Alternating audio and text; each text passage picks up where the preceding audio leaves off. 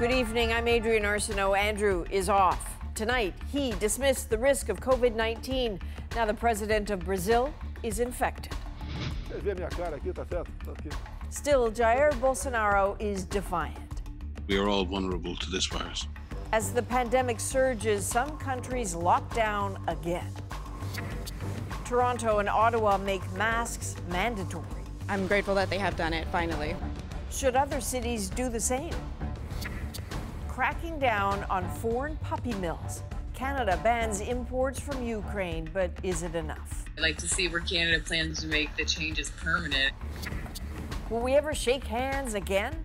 So, are you prepared to not shake hands for the next two years, possibly? Absolutely. What's lost without that simple human gesture? This is The National. Canada's fight against COVID 19 is generally going well, but look beyond our borders and the global picture's troubling.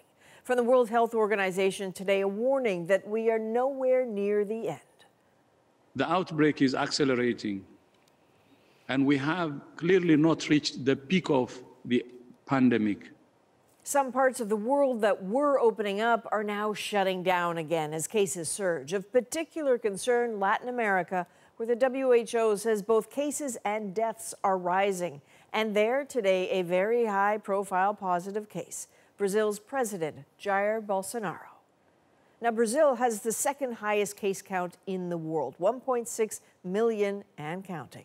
Bolsonaro has been downplaying the risk of this virus since the start. And as Briar Stewart shows us, his diagnosis hasn't changed that. Even as Jair Bolsonaro confirmed he had COVID 19, the Brazilian president took off his mask and boasted. You can see from my face that I'm well, he said. For those who want to go get checked, you won't have a problem. It's hardly surprising that Bolsonaro has tested positive for the virus. It's ravaging Brazil, and the president has been dismissing the risk for months mingling in large crowds and urging Brazilians to go back to work. No meu caso particular. He previously said that given his history of athleticism, if he were to be infected, he wouldn't have to worry. Today, officials with the World Health Organization, which Bolsonaro has labeled as incompetent, wished him well. The virus doesn't really know who we are, uh, whether we're prince or pauper. Uh, we're equally vulnerable. Bolsonaro started feeling ill on Sunday, one day after he socialized with the U.S. ambassador during July 4th celebrations. He says he's taking hydroxychloroquine, a drug which hasn't been proven to be effective against the virus. In front of his residence today, there was a show of support. But on the street, some weren't sympathetic. He said it was a little flu, and now he has to live with this little flu, said this man. Bolsonaro, ever confident and confrontational, has polarized the country. His supporters adore him, but others protest his handling of the pandemic. In the spring, he fired one health minister and another one resigned. I think um, from a public health point of view, it's uh, very worrying because he set a terrible example. Uh, a lot of Brazilians believe that the uh, pandemic is not as serious. But yet the virus is tearing through cities and remote regions. The death toll throughout the country continues to climb. Briar Stewart, CBC News, Vancouver. As cases climb worldwide, some countries are moving to reimpose lockdowns. In Israel, the government is shutting down bars, gyms, and nightclubs and restricting the number of people in synagogues and on buses. Israel is now seeing as many as a thousand new cases a day. Today, the country's top public health official resigned, saying leaders ignored the warnings and reopened too quickly. And some states in the U.S. are imposing restrictions as the country continues to inch closer to 3 million cases. Nearly 50,000 Americans tested positive in the last 24 hours, many in Texas. That state saw more than 10,000 new cases in a single day. After a spike in March, Australia managed to flatten its COVID curve through April, May, and almost all of June, and then a flare up. And as Chris Brown explains, that is pushing the country's second largest city, Melbourne, back into lockdown. Thank you very much. Where are we coming from today? Police are patrolling the busy state line between Victoria and New South Wales, now closed for the first time in a century. And Melbourne is headed into another lockdown. At this public housing complex, the epicenter of 70 new cases, there were scuffles for food. 4,000 people, including Thanasarag, can't leave their apartments. We called the hotline. We said, hey, we need sanitary pads. We need, um, we need milk. We need groceries. Victoria's premier said people let their guard down. I think a sense of complacency has crept into us as we let our frustrations get the better of us. I think that each of us knows someone who has not been following the rules as well as they should have. Much of the finger pointing is focused on quarantine hotels where the virus likely escaped from. This family who returned from India says the room they moved into obviously wasn't cleaned properly. We found um, other people hairs in the bed sheets, nails on the carpet, um, some food particles and food wrappers under the bed. The 191 new cases reported Tuesday in Victoria may not be a lot by international standards, but what's worrying is the trend is headed back up, says this Canadian expert. As people begin to think they've got it beat, as things are loosening up, the virus, which has been dampened but not eradicated, will come back up again. Closing the state border is creating logistical nightmares. People in communities that straddle the line need permits to cross, to shop, or work. This is something entirely different. This is going to affect the travel of my staff because I have staff and clients on living and working on both sides of the border. As for Melbourne, long lineups returned outside grocery stores. It's back to essential trips only outside the home. Australia's halting economic recovery from COVID is on pause. Chris Brown, CBC News, Vancouver. So, all of this probably has you wondering how's Canada doing? Well, let's look at today's numbers. Across the country, there were 232 new cases, making the number of active ones more than 27,000. British Columbia accounted for 12 today. Again, Quebec and Ontario led the way, Quebec reporting 60, Ontario 112. And in that province, some cities are taking nothing for granted today, making mask wearing mandatory in indoor public spaces. Thomas Daigle explains. Just months ago, it would have seemed draconian. But today, in Canada's biggest city, the shift to mandatory masks appeared seamless. I think it's a good thing. I'm grateful that they have done it finally. From Toronto's St. Lawrence Market to Adam Picard's hair salon. If you don't want to wear a mask, you can't be in here, you can't get your haircuts. It's up to managers to ensure their customers wear a face covering. That goes for any indoor public space, including the library, where the mayor explained the new role of business owners. They can simply say no shoes, no shirt, no face covering, no service. And I think by doing that, uh, most stores will make it clear. Similar rules came into effect in Ottawa with exemptions for people with some health conditions and children under two, but not Theodore. He touches it, but he will keep it on. And for a three year old, I think that's pretty good. At this pharmacy, the owner does expect some pushback, having seen the anti mask chatter on social media. I am prepared to turn away business. Unfortunately, it's uh, something I think it's essential. Those fringe activists or anti maskers took to the Toronto subway, their faces uncovered despite a rule requiring masks. Our choice, and you're not going to take that away from us. In these two cities, at least, it is now, in fact, not your decision to make. While there may be fewer cases, there is more consensus. It's not really a choice anymore. You, you've got to put a mask on. If people wear masks, they can prevent the transmission of this infection to others. Here in Toronto, the requirement will remain in effect until at least the end of September. Other nearby cities and Montreal will soon follow suit. And Quebec is considering making masks mandatory for indoor public spaces across the whole province. Thomas Daigle, CBC News, Toronto. Now, masks were already mandatory at Toronto's Pearson Airport, but Conservative leader Andrew Scheer and Manitoba Premier Brian Pallister were spotted there today without their faces covered. The pair seen here at a departure gate in a clear violation of the airport's rules. Scheer's office says he removed his mask to make a phone call, while Pallister called the moment a lapse in judgment. The World Health Organization is acknowledging COVID 19 may be spread through the air. We believe that we have to be open uh, to this evidence and understand its implications regarding the modes of transmission.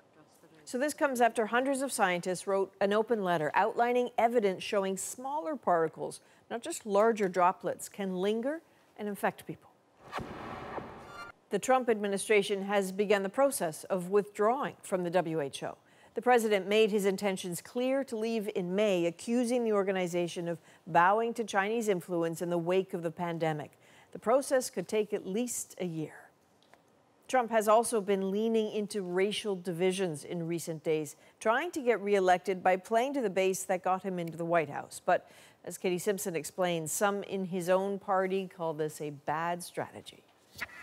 The President of the United States. At a roundtable discussion on reopening schools, the President cracked much. a joke about one of the most sensitive issues in the country while addressing the governor of Missouri. You won't be changing the name St. Louis, will you? No, we will not be doing. Thank you. That's a quip about the heated divisions over whether to rename military bases and remove statues dedicated to Confederate leaders who fought to defend slavery. It comes as Donald Trump's social media posts on issues of race draw criticism from members of his party who say he's undermining the reelection message he delivered in his 4th of July speech. The question is Did what the president tweeted on Monday advance the cause that he laid out on Saturday? And I think the answer is an unambiguous no. On Monday, Trump attacked Bubba Wallace, NASCAR's only black driver, after a hate crime investigation into what appeared to be a noose found hanging in his garage turned out to be a coincidence. The president called it a hoax, saying that and the decision to ban the Confederate flag caused lowest ratings ever. This anti Trump Republican strategist says this is a way to distract from the president's handling of the pandemic. It seems to me that the president's more concerned about saying, just forget American public what a disaster this has been on our shores and look over here. Members of the administration are sidestepping questions on the tweet, with one downplaying racism in the U.S. I live my life in, in, in a race blind world. It, it, troubles me that, that we have so much of this discussion uh, when, in fact, we've got real, real problems in in this country. Trump's latest tweets do not appear to be helping him to grow his base. Instead, they're widely seen as a way to motivate his core supporters and get them to the polls this fall. Katie Simpson, CBC News, Washington. Winnipeg police are investigating after two protesters were attacked with a hockey stick following a Black and Indigenous Lives Matter rally on Saturday. Two videos show a woman getting out of a car and going after protesters, and one of them being hit in the head. One of the victims says it started after he lay down in the road as an act of protest, leading to shouting from the car and to him throwing water on it. A witness gave police the license plate. In Saskatchewan, an independent investigation is underway after the violent arrest of an Indigenous man. A video shows the man being repeatedly punched, then tasered. As the CBC's Bonnie Allen reports, there are questions about how and why it all escalated to that point. Stop resisting! In a six minute video, a Saskatoon police officer struggles to subdue and handcuff Evan Penner. When Penner tries to wrestle free, the officer punches him repeatedly. Stop grabbing my leg! Stop grabbing my arm! Frank Collins lives nearby and started recording. I yelled out to the officer to, to you know, that's not necessary. Please stop doing that. Um, the officer uh, acknowledged my presence, um, and at that point uh, started yelling, uh, "Stop resisting! Stop resisting!" and continued to to throw punches. Penner persistently tries to fight free. Seven more officers arrive, and he's tasered, punched, and pepper sprayed. Taser, taser, taser, taser. Police were called about a suspicious person when Penner started dousing himself with someone's water hose. Lorraine Salt let him sit on her front step and wonders how it all escalated to violence. He seemed, you know, a little bit happy to find the shade and a place to sit down. With every encounter, there has to be a thinking of how can I de escalate this? Former Supreme Court Judge Frank Iacobucci has studied use of force. He says in some cases it can be reasonable for an officer to punch someone to subdue them. But you'd also want to judge what happened before it came to that stage. The officer has been placed on leave. Some want him fired. Indigenous and black people are still routinely brutalized by the police in this city um, with no accountability at all.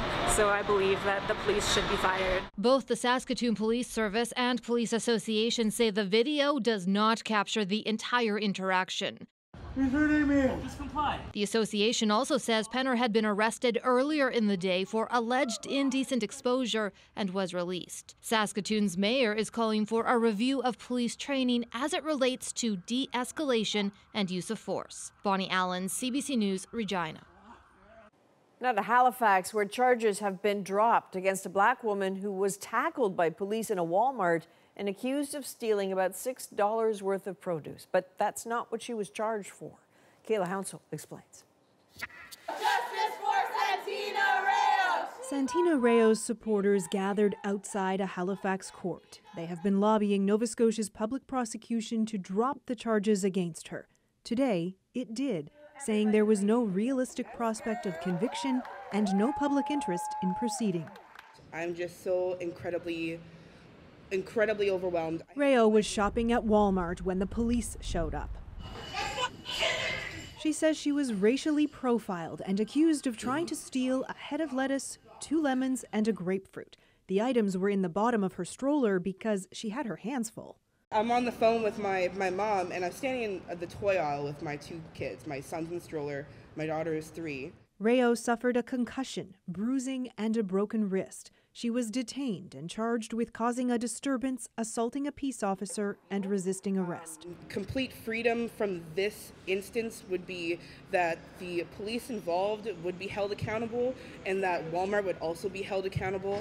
Um, Rao says she now plans to sue Walmart and the Halifax Regional Municipality. Nova Scotia's police watchdog is also investigating.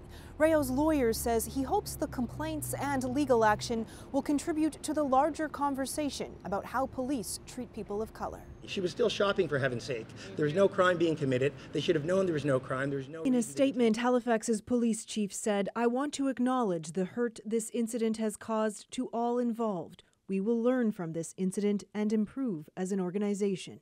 Rao says she and her children, especially her daughter, have suffered a great deal due to the actions of police. As a child that's almost four, her vision and ideal of police is brutality. And that was not my own doing, that was their doing. Her advice to others who feel they have been racially profiled don't be ashamed to speak up. Kayla Hounsell, CBC News, Halifax. A black woman who worked for the We charity is speaking exclusively to CBC News to describe how the group rewrote her own experience with racism. We has been making news because of a controversial federal contract. Farrah Merali has this new angle. Are you ready to change this world? We Charity is well known for youth empowerment and close ties to influential people. But now, this former employee paints a different picture. I felt like I was sinking in sand. Amanda Maitland was asked to speak on a 2019 We Anti Racism tour in Alberta. She says she wrote her own speech and started the tour. But on a brief return to Toronto, she says she was called into a meeting. I was literally put a new speech on the table and told that there there had to be changes. It was completely watered down. Um, it wanted me to talk about cornrows and it wanted me to talk about the Oscars, and the language was just completely different. The changes, she says, came from a team of nearly all white We employees. CBC News spoke to 15 former We employees. Several confirmed they knew Maitland's speech was changed. Most described what they called, quote, culture of fear within the organization. Rhea Carey says she experienced that fear. Never in my life before had I felt like unsure about my opinion, my values, and where I stand because of how they made it seem like I was negative. So first of and foremost, Maitland's story, which she first shared on Instagram, has now sparked a flurry of other testimonials. I'm speaking out about it because I'm I've left the organization. I too need to speak up about my experiences at We. I'm disgusted and enraged. After CBC News reached out to the charity, We co founders Craig and Mark Kielburger apologized publicly to Maitland, saying, You shared in your video that the words of your speech were altered. It simply should not have happened. In a separate statement about an alleged culture of fear, we told CBC we members can anonymously submit on a feedback portal any concerns or issues they have. I need to know that it's coming from a genuine place. That apology was also sent to Maitland personally. But for now, she says she's taking time to reflect on the words. Farrah Merali, CBC News, Toronto. The Trudeau government's following through on an agreement with the Assembly of First Nations, signing a pledge to make them responsible for child welfare, but there's no money and no timeline. Olivia Stefanovich tells us that has left some advocates deeply skeptical. The simple joy of a splash pad on a hot summer day, something Rochelle Metatawabin never knew until her daughter Mila arrived. I just didn't understand anything. I didn't understand why I couldn't just live in a healthy home. Metatawabin was placed in the child welfare system months after she was born. Shuffled to so many foster homes, she lost track. She wonders how her life would have been different if she stayed in Fort Albany First Nation and was brought up in her own culture. Children and youth don't have families to rely on, right? So if the funding actually gets given to Indigenous communities, I really have high hopes that they will know, that we will know what to do. That's the goal behind a new agreement between Ottawa and the Assembly of First Nations. It's a plan to come up with a plan on how to fund the new First Nation run child welfare system. Any level of government cannot argue with that, putting the needs of the children first. But Ottawa is not offering up any new money or committing to any deadlines. The fact that there's no binding commitment of funding, it means that things aren't going to change when they ought to change. The minister admits transferring control of the foster care system to First Nations won't be easy. And so that's a long term um, a long term and probably a very painful process. But it's one all parties agree is necessary to reduce the number of Indigenous youth in care. There are now more in the foster system than at the height of the residential school era. Metatawabin is hopeful the announcement is more than words. It's how many years of this? I think we've all had enough and, and we should never have been waiting this long. Because as Metatawabin knows all too well, children only get one chance at a decent childhood. Olivia Stefanovich, CBC News, Ottawa. Mass puppy mills are thriving in Eastern Europe, sending dogs here. Today, Ottawa took a step banning puppies from Ukraine. Up next, why activists say the ban doesn't go nearly far enough. Plus, remember these? In the post pandemic world, how do we greet each other? How do we connect with each other? We're not seeing people, we're seeing like vectors of transmission. Plus, break and enter with the cause. When I'd seen this and I'm like totally reduced to tears, uh, yeah, it just blew me away. A committed community's quiet helping hands. We're back in two.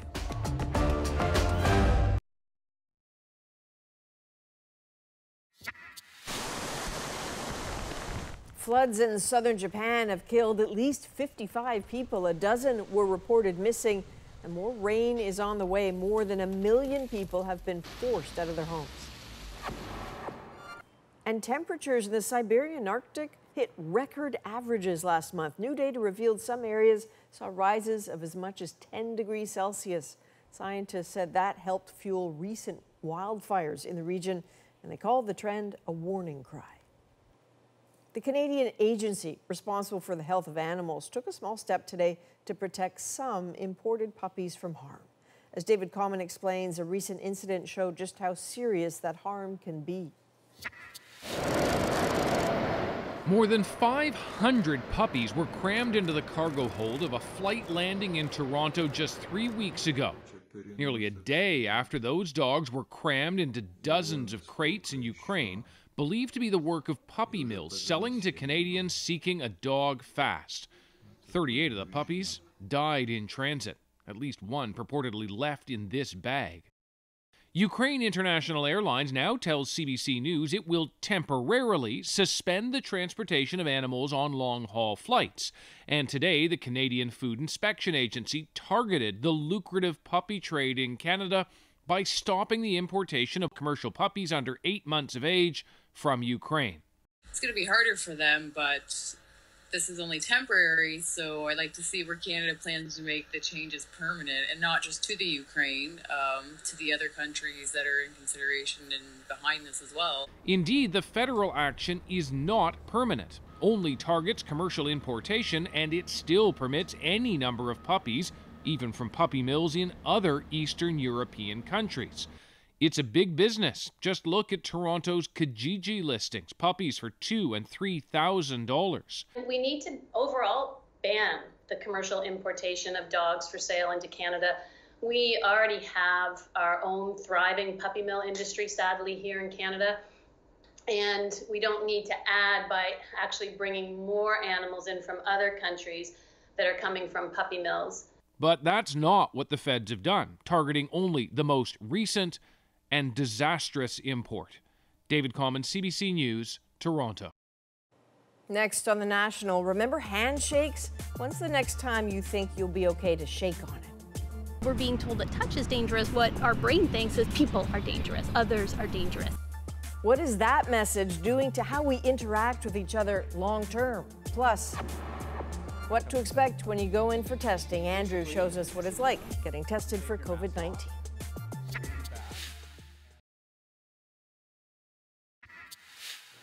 So add this to the long, long list of ways this pandemic has changed us. With a handshake considered too high risk, greeting by elbow has sort of gone mainstream. In practice, it's just a minor change, but the handshake is about so much more than just saying hi. It's about showing trust too, and it's personal. So, how to fill that void now and for as long as this lasts? We went searching for some answers take a moment for a little time travel back to forever ago, March 2nd. and German Chancellor Angela Merkel going in for a handshake. Funny how the whole idea of not shaking hands was just so hard to get used to then. And yet, we adapt. Even a president known for practically weaponizing the handshake now seems horrified by an outstretched hand. Once routine behaviors, no longer routine. There's a tendency of some folks to use it as a demonstration of power. and so, a nagging question for a specialist in organizational behavior Will we ever shake on it again? What would it take for you to feel comfortable to shake a hand again? It would take a highly effective, easily available vaccine or a super effective treatment for the coronavirus for me to be comfortable again. So, are you prepared to not shake hands for the next two years, possibly? Absolutely. This gesture has been with us for millennia, survived even the Black Plague. People stopped kissing on the cheek for hundreds of years then, but they kept shaking hands. An endearing, enduring greeting, now paused, but likely not gone because apparently we need it and it's a need to establish trust with one another. And the way the handshake allows you to establish trust is by one, showing that you hold nothing dangerous in your hand. But not every culture does this. That's true. Cultures that substitute, replace the handshake with gestures like the namaste uh, or the bow emphasize different things. Those are gestures that really speak more to respect and deference toward the other, but they don't establish that warmth that deep sense of closeness. It's a talk we're having in the financial district of Toronto because for the next few years, without handshakes, interactions in those gleaming towers will have to change and get more personal. And the best way to establish that you mean well is to take a real interest in the other person with the eye contact, with a smile, with the thoughtful remembering the person when uh, uh, they are maybe disconnected, but you send them a note. This is a lot more work than a handshake. And before you suggest that surely video conferencing calls are personal enough, after all, you are seeing each other, forget it. You can't make eye contact. Distractions are ruinous to building a connection, and increasingly, people are fed up with communicating this way. The old school telephone, now you're talking. The phone call allows you to focus on tone, pauses, size, all of the all of the, all of those rich uh, audio signals. So is this is this effort to keep us apart making us more personal in our interactions? I don't know. She's right to hesitate. There are too many examples of less than generous behavior now. Get out! Loser, bro! Consider the angry, almost panicky shaming of a woman not wearing a mask in a grocery store. This is Karen. And the fury of another apparently called out. Maybe we aren't all in this together. There is so much fear of the other. People talking of eye contact being avoided, some even holding their breath when someone walks too close. We see each other's each other as pariahs. Yes. So yeah. What is happening with that level of suspicion? Yeah, I mean we're we're not seeing people we're seeing like vectors of transmission, you know? And so when we're being told that touch is dangerous, what our brain thinks is people are dangerous, others are dangerous. And I For a behavioral scientist, Laura Kavanagh, a world in COVID is a classroom. The most curious quirk, the extremes on display, those fully doubting it's safe to be out, others behaving as if it's all over we're under um, stress is that we have uh, something called decision fatigue. Should I wear a mask or should I not wear a mask? Does it help or does it not help? Eventually, from a psychological perspective, that just wears us out. It depletes us. And people become paralyzed or anxious or depressed, or they become reckless, self destructive, um, and, uh, and impulsive.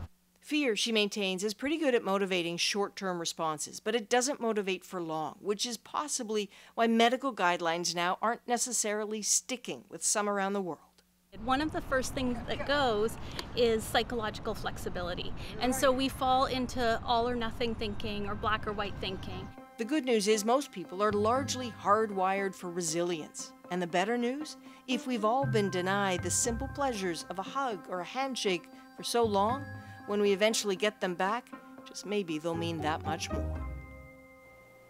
As of this week, nearly 3 million people were tested for COVID 19 here in Canada. And as more people get screened for the virus, we take a closer look at what you need to know to arrive prepared at a testing center.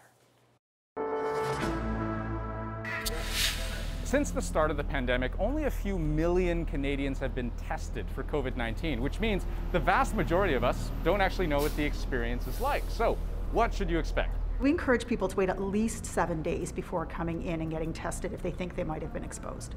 When I got tested a few weeks ago, I had to wait in line for about 60 minutes, though, of course, your experience may be very different depending on where you live, also what time of day you go.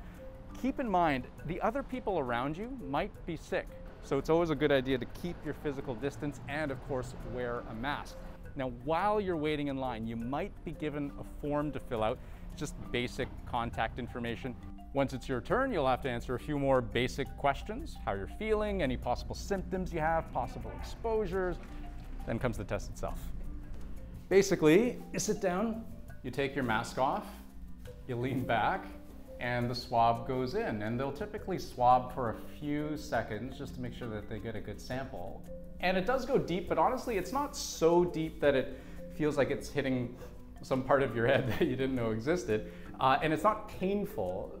One or two nostrils later, and you're done. Staff will explain for you how you get your test results. It could be by phone. I got mine over email, or you can get them yourself online. As for how long it takes to get your result. It could be in as little as 24 hours or as long as a week. It really depends on where you live. Now, one thing that you should understand, a test result is only really a snapshot in time. So people who are working in environments where they're exposed to many members of the public or through other workplace exposure should be tested regularly. So don't hesitate to come back. And anyway, it's free.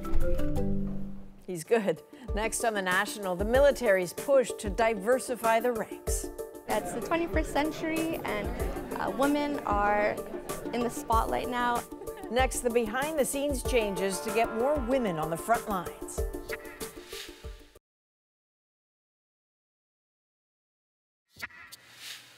Welcome back. The Canadian Armed Forces are trying to recruit more women, even as details are worked out for a massive class action settlement that includes victims of sexual assault and misconduct in the armed forces. So, how do women feel about working there? David Common asked some of them as he looked into that recruiting. All right, good afternoon, everyone. Welcome to the Canadian Forces Recruiting Center, Detachment Toronto. Thank you so Yes, indeed, this is from the times just before COVID. No distancing here, but notice that packed in among these 12 new recruits for the Canadian Armed Forces Congratulations. are five women. Congrats, I really mean it. Canada's military has struggled to increase women in its ranks, convincing Denise Patino, future logistics officer for the Navy, to come on board, and that's considered a win. I think there might be a lot of stigma around that, but it's the 21st century and uh, women are in the spotlight now, and I do think that the Navy and the Canadian Armed Forces are a great way for a woman to get a foot into the world and really succeed. Have fun. Thanks. Yeah, seriously, just I know you're going to be successful. Like, really, I'm so excited for you. Back before the pandemic, we met up with Molly Cameron, part of the mighty minority, an experienced crewwoman on board a Navy ship. I've sailed with only two females out of 45 people on board, and it can be hard, you know. Um, I like hanging with the guys, I get along with them well, um, but I do think it's nice to have more females on board. The military has set a target that one in four sailors, soldiers, or airmen be a woman by 2026. Today, they're way off, closer to one in seven. Better, though, than the NATO average of one in nine, still, though, short of Canada's goal. And it's barely changing. So, why is it such a struggle? Charges of sexual assault against members of the military are certainly a factor. I think there may be people that fear that it's some kind of a, a predator culture, which I can, you know, I can say with my hand over my heart that it's not. So, what are all the stations? Commander Michelle Tessier is among the highest ranking women in the Navy, the incoming boss of one of its newest warships. After many years of service, she's been around during dark years, but believes safety and respect are both improving. Do we have people where there are issues? Everyone does. Um, do we deal with those issues? Absolutely. Um, and do we do everything that we can to make sure that the Canadian Armed Forces is uh, a welcoming environment for women and for everyone? Absolutely. I'm Shannon Busta, and you're listening to For Her Country. From a home in Toronto, host Shannon Busta is featuring the contributions of women in the military in a new podcast called For Her Country. It speaks to women from a wide array of experiences in the military, at home, and abroad, busting myths and shedding light about their role in the forces. I'm sure you can imagine the look on my face or what was at least going through my head when I was having these conversations. There's also the question of lifestyle for both women and men. One hurdle to military life can be the expectation to move every few years in some jobs. Hey, Jason. Good morning. Colonel Luc Sabourin runs recruiting for the forces. It's not just a woman issue, it's a cross the board issue because people really want to develop uh, their family, raise a family as a team, and value the fact that their partner want to have a career as well. So it becomes a how do we work? And the military will work to ensure to minimize stress on the family. Making the military more family friendly is now a strategic goal. In some cases, moves have been reduced, postings lasting longer. Bridge ups. Speaking of family, it's how Rosalie Solomon got here, following her older sister into the Navy. Come on, tracking 300. Both are now considering joining the regular force. And their younger sister continue report. is following too. Roger, continue report. I was not really concerned. My older sister told me that it was good. People were treating her good also. So you're you're a sailor before a woman or a man. Molly Cameron was just about to head out across the Atlantic, confident in her shipmates, but sometimes still taking questions from friends. You know, is it hard? You know, do you get a lot of sexism? And like, I definitely have in the past. I can only speak to my personal experiences. I, I don't get a lot. Um, my trade is male dominated. Um, so, but I think human nature, if you, you know, prove yourself and they know I can do the job just as well as a male, then there's no real sexism there because there's nothing to be sexist about. Sexism, of course, exists outside the military too, but perceptions matter, and it impacts attempts to increase the number of women on ships like this, making the force's own goal of greater equity somewhat elusive. David Common, CBC News, Halifax. Still ahead on the national, social media and internet giants are debating what to do about Hong Kong's new security law, but one app says it's out. Wildly popular video app TikTok. Why? Next.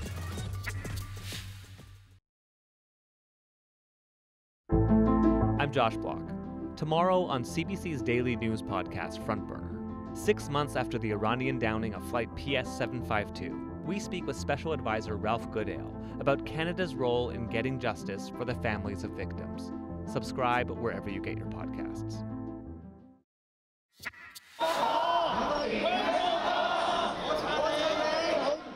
Protesters in Hong Kong have found a novel way to use signs now that Beijing has effectively banned certain slogans. Blank pieces of paper and blank sticky notes. The message, the slogans and demands remain in their hearts. Last week, China imposed strict new security laws in the territory, and that's now caused the world's tech elite to pause. Google, Facebook, and others are suspending giving data to officials. But TikTok is actually pulling out entirely. Interesting because the wildly popular app, headquartered in the U.S., has Chinese ownership. Eli Glasner unpacks it all. To be honest, I, I kind of feel like a sense of irony of doing a PhD in privacy law now because there is none left in Hong Kong. This activist is worried about Beijing's new national security law that give police the power to silence and track users. They can have a sense like who are the closest beings like in my circle and they can target those person as well. Worries about China using their data is behind the decision of Twitter and other tech giants to suspend giving it out. But things are even trickier for TikTok because of who owns it. Last week, India banned it in a purge of Chinese mobile apps. Now, Australia is considering the same. We're very concerned uh, about foreign interference. And yesterday, this from the U.S. Secretary of State. Would you recommend that people download that app on their phones? Only if you want your private information in the hands of the Chinese Communist Party. In a statement to CBC News, TikTok notes the company is led by an American CEO and has never provided user data to the Chinese government. Their server is in the US and in Singapore, so all of the data for TikTok is in um, outside of China. Um, but again, there's always the fear um, in the background that because they are wholly owned by a Chinese entity, that something could happen. If the US takes away TikTok, on the platform, TikTokers were still coming to terms with the possible ban. I don't understand. I don't understand. I think clearly what the White House is trying to do is to shift um, people's focus to China, uh, given the bad. Um, press they're getting, you know, on COVID. This author says the White House may want to shift focus, but the two are tied together. A Chinese uh, company owns uh, one of the biggest pork producers in the U.S. Should you not use Smithfield Farms, which you know will get your um, you know your credit card information just as much as TikTok will? TikTok. With or without TikTok, he says cut out China and you give other countries an advantage. Eli Glasner, CBC News, Toronto. Next on the National, a moment one Nova Scotia family will never forget. Just blown away. I mean, we've been in a total tailspin the last two weeks. After a terrible accident, a community shows up with a major surprise right after this.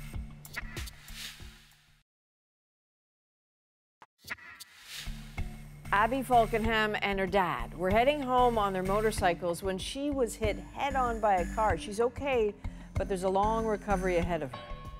And while she's been in the hospital, her Nova Scotia community banded together and snuck into her family's farmhouse. What were they up to? Well, that's our moment. My daughter and I were in a very serious motorcycle accident on uh, on June 19th, and she's got a very long road ahead of her, but she's still with me. My colleagues in the fire department came and snuck in and uh, tackled this and blitzed everything that was left, piled the whole bit. They came in and, and cleaned out some our horse stall and sheep stall. they line trimmed all around the whole property. I mean, the community dropped off uh, a freezer full of meals like not meals to come in and put in our freezer. They actually have a deep freeze that they drove up the driveway with a tractor, and it's in our mudroom now, full of meals. People just have been uh, so kind, so generous, and figuring things out. When I'd seen this, and I'm like totally reduced to tears, Um, I'm like, yeah, this is this is our community. This is uh, this is what I know of Colchester and rural Nova Scotia. Everyone chips in and and gets things done. And yeah, we don't know what we need, but people are figuring it out for us. That they are. So the doctors said that they, that crash could have been unsurvivable, but you know, Abby's in the hospital. She is recovering. She's also a junior member of the fire department, which made you know those acts of kindness that much more special. And her mom said she didn't know how to thank everybody, but she figures bringing her home uh, is thanks enough, and she's right. That is a national for Tuesday, July 7th. Good night.